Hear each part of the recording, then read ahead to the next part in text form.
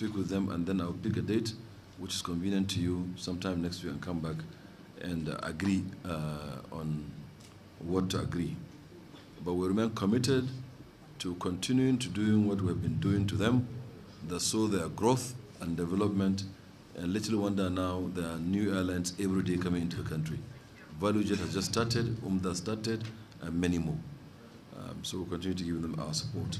Regarding the Emirates um, or the UAE-Nigeria relationship, um, it may seem to be something within the confines of civil aviation. I would like to say that in this case, it is tangentially related to the matter. There were, if I may use the word correctly, which I disagree with, I don't like the word, but because it's being used around the world, I will use it, blocked funds in Nigeria. The meaning of block funds is that the airlines have signed an agreement with Nigeria through the bilateral air service agreement or multilateral air service agreement that once they make their money here in Nigeria and the net of the money, when they remove those they will need to run their offices, they should be free to remit the money back to their country. And so also any Nigerian entity doing business anywhere should also have the, um, um, the liberty to remit the money by law back to Nigeria. Assuming Airpeace or anybody, UMZA, that is doing business in Niger or in Canada. So for the money to pile, it's not new. Um, when we came in in 2016, we found out that some about $460 million was uh, blocked in Nigeria. And at that time, we were under recession. But because we are up to our own commitments, Mr. President directed and approved, and the monies were found and given to them, all of it, in three tranches. And the mechanism was asked to be put in place in such a way that the monies will not be trapped. Then we went through another cycle of recession, plus COVID, plus dwindling revenue, and so on. And the foreign exchange became extremely very scarce, not only for airline operations, but for other operations. So Nigeria went into a challenging time. And so we pleaded with all the airlines around the world that they should see the situation that Nigeria is in and to give us time to be able to repay this money like we did. We have demonstrated that we, honor our obligations and we did it in the past. So this one took time and most airlines and most countries, almost all countries except UAE, have understood the situation in Nigeria and are hoping that the monies are going to be found.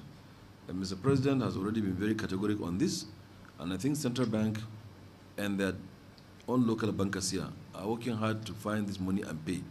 And the CBN governor had said that between now and the end of the year, the substantial amount of the money will be paid. Perhaps almost all, according to him, and before the Senate and before the House of Representatives. So, but my concern is um, countries go through war. They go through other unnatural causes. They go through force majeure. And uh, the thing should be that there should be mutual understanding of each other. But at the slightest of irritation, at the slightest of irritation, then we get these things from UAE that we are not coming to Nigeria, we will ban you from Nigeria, we will ban visa. They've done it once, they did it twice, they did it three times. These are things that are not self-inflicted. These are things that happen to our country. And as a sovereign, perhaps they should look a bit more because this market, this Nigerian market, is a market that they need. We need their service, no doubt about that, but they, are, they need our market more. So um, we are working hard to ensure that this money be paid. CBN and the bankers and the banks as well are also doing their very best. We are assuring UAE that this money, as the CBN governor said, will be paid before the end of the year, almost all of it, but that they should exercise restraint and treat Nigeria for the value that it has.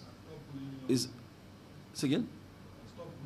Well, it's not even a bully, really. It's, uh, it's not even a bully as I see it. I see it that they have an important market, Nigeria. There's no more market in aviation. I don't know anywhere else. In aviation is good in Nigeria. Because distinguished Senator Allah was in the House of Reps in 2003 when we summoned British Airways to ask them, why is it that the ticket from Abuja to London is more expensive than the ticket from Accra to London? And Accra is farther. And the man has the audacity to tell us that because Nigerians can afford. And I was chairing the meeting, I walked him out, but my walking him out at that time didn't solve matters. And it's true that Nigerians can afford. Because why? Because they pay. But that we are paying does not mean that you should take advantage of us paying. And if we're able to establish this airline and to grow also domestic airlines to build the capacity to also give an international seamless, efficient service, then we have many, very many airlines in the country doing this service. They will not do that, do that to us. Um, but they should see us as sovereign. They, they should see us as a market that they need, and they should treat us as so and as such. So, but having said that, we're working hard to ensure that these monies, because they are lawful monies and they are remitted. Thank you very much. His uh, clarity of mind and uh, tenacity to whatever he believes in. Um, on this note, Honorable Minister, you are not acquitted, you are just discharged, and uh, we will call on you if we have other reasons to do that before this budget is wrapped up. But we will expect that you will wait for us a bit while we round up uh, this meeting. But uh, on behalf of all my colleagues, I thank all the